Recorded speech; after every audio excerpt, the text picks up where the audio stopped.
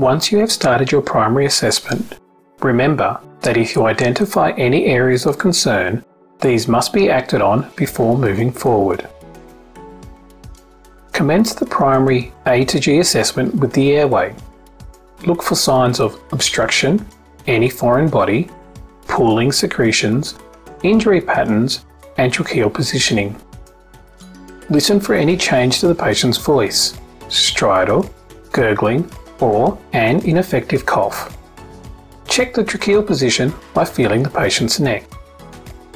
In a patient that can be classified as a trauma patient, you will also need to check the C-spine. Once you are happy with the airway, move on to breathing. Look at the patient noting their position. Are they sitting up, lying down, or in the classic tripod position really struggling to breathe? Assess the rate, rhythm, and effort they're putting into breathing.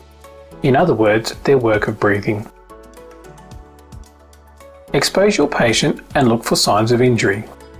Listen to your patient. How is their speech? Are they speaking in words, phrases, or sentences? Listen for any audible breath sounds. Move on to the feel component of the assessment, checking the chest wall for signs of injury, and look for chest wall symmetry. Once you have assessed your patient's respiratory status and are happy, move on to circulation. Look at your patient. Are they pale, or flushed? And what is their mentation like? Are there any signs of bleeding or hemorrhage? And are they walking on a bed or on the floor? Listen to the patient's apical heartbeat, which is located in the fifth intercostal space in the left midclavicular line. Then feel the patient's pulse. Make sure that you check pulses bilaterally. It is essential to note the rate rhythm and regularity of the pulse. Check radial, brachial, femoral or carotid pulses depending on your patient's condition. Assess capillary refill peripherally and centrally and check for warm hands and warm feet. Once you have managed any issue with your patient's cardiovascular status, move on to the disability assessment. Use the ACVPU mnemonic to assess level of consciousness. Anything other than an A means that you will need to attend a formal Glasgow Coma Scale assessment at some stage. Assess the patient's pain and manage as appropriate. Once completed, move on to the exposure component of the assessment. Look for any signs of injury and if there are any invasive lines present. Make sure that you maintain your patient's core body temperature throughout the assessment process. In this section of the assessment, it is also important to note the environment that the patient came from. Were they outside in the cold or outside in the hot sun? The patient's fluid status comes next. Ask the patient or carer about the amount of fluids going in and fluid coming out. Assess the patient's oral mucosa and skin looking for signs of dehydration or fluid overload. Note signs such as excessive thirst, excessive urination, or no urine output at all. Determine if the patient has any fluid restrictions in place. In the paediatric population, you can also check for the number of bottles drunk, the frequency and quality of breastfeeding, and the number of wet nappies. You can also assess the fontanelle to determine fluid status. Lastly, check the patient's blood glucose level.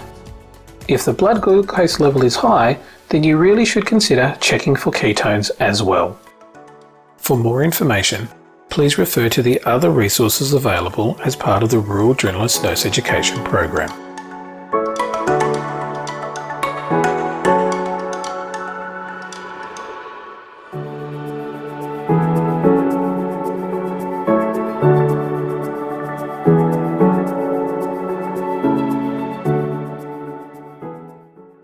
Commence your respiratory assessment by looking at the patient's general appearance and their position. Are they laying back? Are they sitting up? Are they in a tripod position? Note the patient's level of consciousness. Is there any evidence of peripheral or central cyanosis? Count their respiratory rate for a full minute. appropriately exposing your patient, assess for any increase in work of breathing, such as use of accessory muscles, intercostal or sternal retraction, tracheal tug, or is there any evidence of injury? In infants, you might also note head bobbing. Listen to the patient's speech. Are they speaking in words, phrases, or sentences? Is there any audible wheeze or stridor present? In infants, you might note grunting respirations. Using a stethoscope, auscultate the patient's chest and back, using a step ladder approach. You're noting their presence or absence of breath sounds. Are there any wheezes or crackles present? Palpate the chest and back for equal rise and fall, symmetry, subcutaneous emphysema, or any other injury. For more information, please refer to the other resources available as part of the Rural Generalist Nurse Education Program.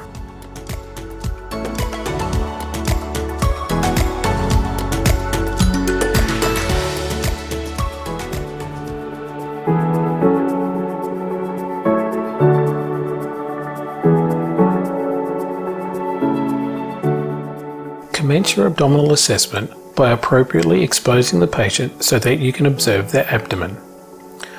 Look for signs of symmetry, distension, bruising, masses, or any obvious injury, as well as previous scars.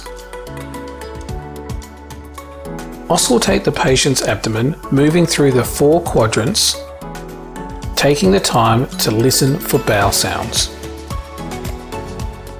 Lastly, palpate the abdomen in a clockwise direction around the four quadrants. Start with light palpation and then repeat with deeper palpation. During palpation, it is important to note the presence of guarding or rigidity and to note any facial expressions of the patient. If the patient has pain, commence palpation away from the area of discomfort. For more information, please refer to the other resources available as part of the Rural Generalist Nurse Education Program.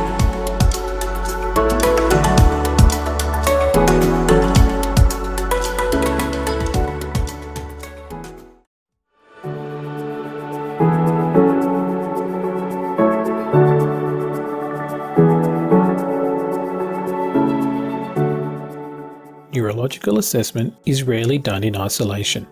It is usually combined with other assessments depending on the presentation of your patient. Commence by looking at your patient. Determine their general level of consciousness using the ACVPU mnemonic, remembering that anything other than an A requires a formal Glasgow Coma Scale assessment. Note the patient's general appearance, their posture, positioning, their facial expressions, and any motor activity they may be doing, and check for pupil response as well.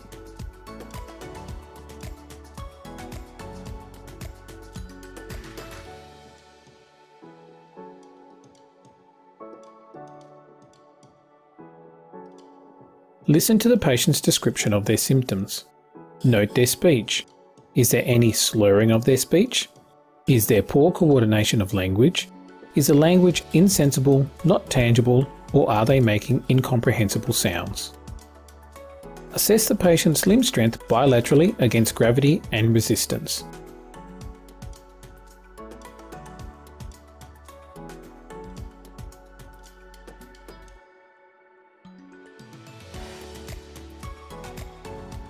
If appropriate, or asked by the medical team, also check patellar tendon reflex or the Babinski reflex. A formal Glasgow Coma Scale assessment is considered the gold standard when determining a patient's level of consciousness. The highest you can score is 15 and the lowest is a 3. For more information, please refer to the other resources available as part of the Rural Generalist Nurse Education Program.